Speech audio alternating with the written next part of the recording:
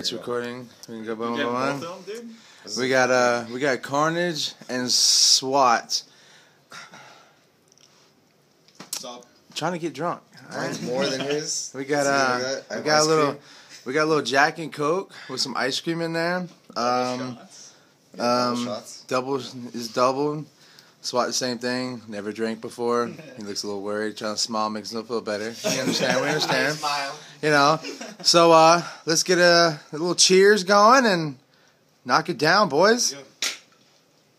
Oof, oof. Watch the faces. Oh, it's so nasty. Woo!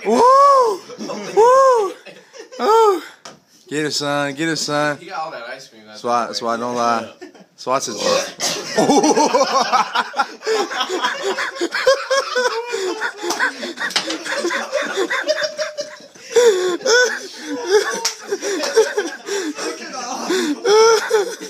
oh shit! Yeah, boy.